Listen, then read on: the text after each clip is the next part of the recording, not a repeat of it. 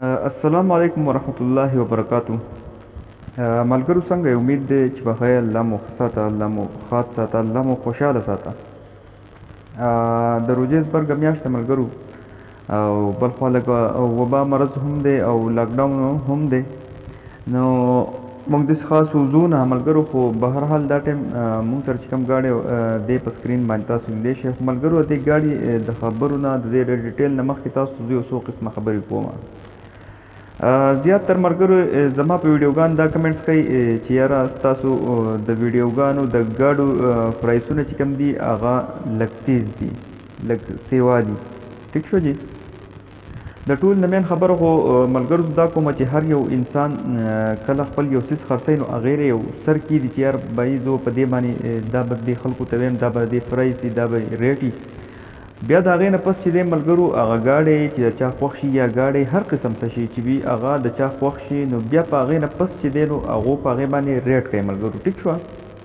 ریټ به کیږی ملګرو که زو د یو ګاډی اته لاکه روپی قیمت پیما نو لاندی تاسو مطلب دا نه دی چی یار زو دی په اته لاکه خرڅ کم تاسو ریټ وکړی ملګرو تاسو تپوس وکړی ستاسو سر به ریټ کیږی ستاسو به خاطر کیږی ټیک شو د ګاډی خپل یو سر یو انسان کیدی د هر یو څیز چی وی څوک امپورټ ایکسپورټ کوی د هغه یو سر وی چی هغه انسان سلیکټ کړی وای یار زو به دیز نه شروع کوم دا به ویم په دی باندی به خرڅ شی ټیک شو. دینه بل خبر دا کوم ملګرو چې انسیفی ګاډي چې کم دي کنه ملګرو انسیفی څه چې زه به تاسو ته مختصر غونته کې وایم چې ما د نن نه ست سال مخکې یو ګاډی اغستی و اټان مې کرولا ټیک شو چې اټان مې ایل کرولا چې ما اغستی و په پنځ لاک بیس هزار روپۍ باندې د نن نه اووه کاله مخکې اوس راسره اویلیبل ده اوس راسره هم موجود ده او ملګرو بیا په منځ کې چې وې په هغې باندې چې کوم پرایس راتلو ساډي چار لاک روپۍ په هغې باندې قیمت راتلو چار لاک تیس هزار چار لاک چالیس هزار روپۍ قیمت په هغې باندې راتلو د خرڅ ټیک شو جې بیا چې و نو په دې منځ کې دا ګاډي ګران شو ملګرو نن هغه ګاډي چې دې زمانه په پنځ لاک تیس په پنځ لاک چالیس باندې غواړي زوی نه ورکوم الن کې ما په پنځ لاک بیس باندې اغسته او په پنځ لاک تیس باندې زمانه اووه کاله پس غواړي ملګرو شپږ اووه کاله پس زمانه هغه ګاډی په پنځ لاک تیس باندې غواړي دوی نه ورکوم نو د دې مطلب دا دی ملګرو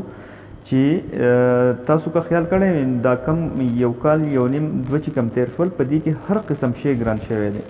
ټیک شوه بل زمونږ د ملک روپۍ چی کومه ده یا ډالر چی کوم دی هغه ملګرو دومره ختی دی چی ډالر به په ایک سو پانچ روپۍ کی وو په سو روپۍ کی به وو په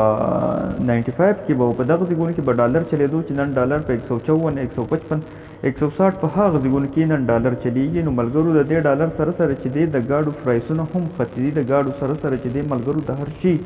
پرایس چی کوم دی هغه زیات شوی دی نو زه په معمولی خبره باندی ملګرو دا معمولی ګاډی زه خبره په دی باندی کوم چی دا کوم ګاډی تاسو ته مخامخ په دی سکرین باندی ښکاری نو دا به د نن نه دری څلور کاله مخکی ملګرو دا په پنچ لاک په ساډی پنچ لاک روپی په دی باندی به میلاویدو زیات تر ملګری دا سوال کوی چی یاره ستاسو پرایسونه سیوا دی یا د دی ګاډو پرایسونه سیوا دی ملګرو څوک که د سوات نه واقف وی نو هغو ته پته لګی چی په سوات کی څوک دی په دی د موجوده حالاتو کې دي نو ملګرو ګاډي ډير زيات بې انتها ګران شوي دي هغه چې هر قسم ګاډي دي اوس دا قسم دا کوم چې تاسو ته مخامخ په دې سکرين باندې ښکاري د د فرایس د 5 لاک په دې کې دا وستا کم چې تاسو ته ښکاري دا 2001 ماډل دی ټیک شو جی دا تاسو لیدی شی دا دوه هزار ایک ماډل دی په دی کی دوه هزار تین دوه هزار چار ماډل چی کوم دی ملګرو د دی قیمتونه چی کوم ول د دوه هزار تین دوه هزار چار قیمتونه چی کوم ول ملګرو ساړی چه لک چه لک سات لک ساړی سات لک روپی پرایسونه ول د نن نه کال یو نیم کال دوه کاله مخکی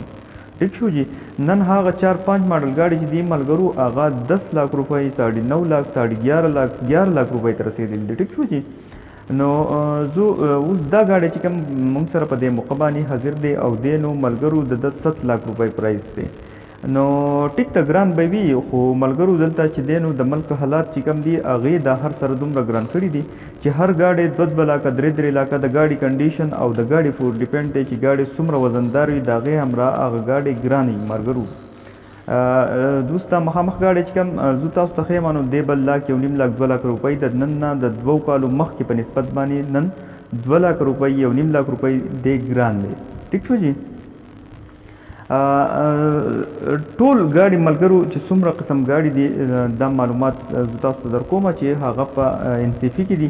او سوات کی دی نو بلکل ګران دی ملګرو مخکی با چی د کویټی نه د چمن نه د افغانستان د باډر نه چا ګاډی راویستو نو ایک لاک تیس هزار ایک لاک بیس هزار روپی کرایه بو او چی نن سبا هغه کرایه چی ده هغه تین لاک روپو ته رسیدلی ده ټیک شو جی او دی سره چی دی نو دلته د سوات ګاډی چی کوم دی پدی کی دا مخامخ چی تاسو ته کوم ګاډی ښکاری ملګرو پدی کی دا یو جی یو ایکس دی ټیک شو په ایکس کی بیا چې دنو انورسري او سادۍ وي ټیک شوه دا جی او ایکس دا ټول به ملګرو د پانچ لاک روپو نه والا د ساړي ست لاک د اټ لاک روپو په منځ کې به بهترین ګاډی تاسو ته میلاویدو د نن نه دوه کاله مخکې د اټ لاک روپو پورې به بلکل دسې ګاډی تاسو ته میلاویدو په دې کې ملګرو چې په هغې د باندې به ګاډی نه و نن هغه اټ لاک روپی چې به کوم ګاډی تاسو ته میلاویدو ملګرو هغه ګاډی چې دی هغه نن په ساړي باره لاک په باره لاک ساړي ګیاره لاک روپی باندې په سوات کې میلاویږي. چې هغه ته انورسری وای ټیک شو جی او د اوس په دې ګاډي باندې لګ خبرو کو مرګرو د انجن ټم تاسو د دې شي 1596 سی سی انجن ډیر دی او د سره تاسو دا ګاډي هم د دې شي ګډ کنډیشن د بهترین ګاډي دی ملګرو او چاته هم پکار وین تاسو کمنټس کولای شئ او ګاډي ډیر خپل ګاډي دی ملګرو چاته هم پکار وی کمنټس کولای شئ او دا انسیفی ګاډي دی نمبر نه دی شوی او 2001 ماډل دی او پرایس چې د دې کم دی ملګرو 7 لاک روپۍ پرایس دی او تاسو یې لیدلی شئ سپورټ سټریم پکې هم انسټال دی ټیر پکې هم انسټال دی ټچنګ مچنګ پکې نشته بالکل په خپل کنډیشن کې دی ملګرو او فول اټومیټک ګاډی دی چاته هم پکار وي نو تاسو کمنټس کولای شئ د ټیم راکولو د پاره ډیر ډیر مننه ملګرو الله مو عزت وکړه او ان شاء الله نیکسټ ویډیو کې بیا خبرې کوو الله پامان